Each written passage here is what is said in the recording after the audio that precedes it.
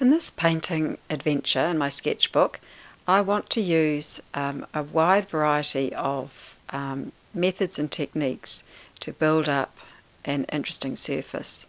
So I'm starting with just um, palette knifing on some cadmium red and I haven't mixed this, this is straight out of the tube, pure saturated colour.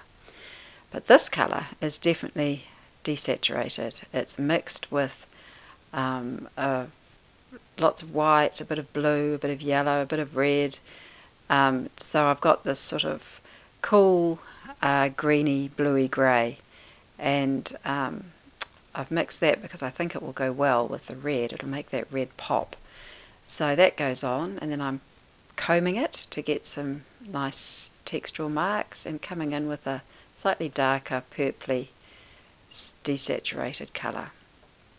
Now I want to add some surprises, so I'm going to uh, put some collage in, and I'm just grabbing a whole bunch of uh, little bits and bits of paper that are sort of lying around, and um, I'm just gluing these in with some uh, gloss medium, and making sure while I do it that I also seal the surface of the um, bits of collage so that they uh, have the gloss medium over the top of them as well as using it as a glue.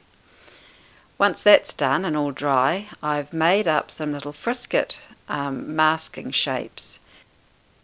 Now this is a clear sticky film and um, I can cut out the shapes that I want, peel off the back, stick them down and then, I, then they peel off very easily and you can reuse them actually so they're quite fun to use. And they just, they used it, I can use them as a masking tool on parts that I want to keep. Then over the top of that, because I've got a lot of red, I'm going for a green, but I'm going for a sort of a lighter green, and also um, it's it's I've made it sort of desaturated as well. I've made it a grey green, so that it's not going to fight with the red.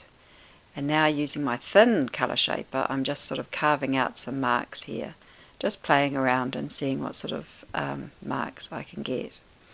Then coming in with some pencil once all that is dry and drawing in here. Now I don't want this I don't want this to be subtle so I'm using a green on green and uh, just just playing, just seeing what I get, just making marks and drawing and uh, these will just be interesting little details that some of them will get painted over, some of them won't, but they're just fun and I haven't got any linear work so far, so that's why I do that. Now I'm coming in with some ink, and this um, gives um, some intense colour. It also, um, I can spread it around and it can be used, it creates a transparency as well, so like a glaze, and it, it just deepens the, the colour palette here. Now I'm peeling off these frisket shapes if I can find them. They get a bit lost underneath the paint, but I kind of know where they are, so I peel those off and they're revealing those nice bits underneath. And that's a bit that I particularly like. Okay, mixing up a really light colour, I'm now going to find some shapes and start to think about the design and the composition of this little painting. So I'm looking for some nice sharp edges, defining some shapes, um, and uh, carving out these, these shapes in here. And now I'm coming in with a dark red. And with this I sort of want to create some soft areas. I want sharp edges and I want soft edges. And so bringing in that um, dark colour, I can mix it with the white and create those soft areas. Now I'm just adding little details, extending shapes outside of the original green shape and making this dark colour um, sort of spreading it around the composition so that it it has it features as sort of a strong element in the composition. Now I'm going to add some drawing and I'm doing this with a pastel and now I'm using these paint pens. And this is just adding detail. I'm drawing into here sort of dark on dark.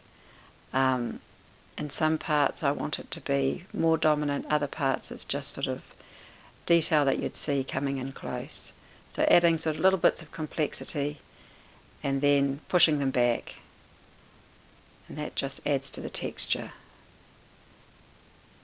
and the depth of mark making in this um, composition. Now just coming in and sort of bringing in more of this more line here with the green pencil. And the softness. And there we are. That's the end of the um, exercise. So that was fun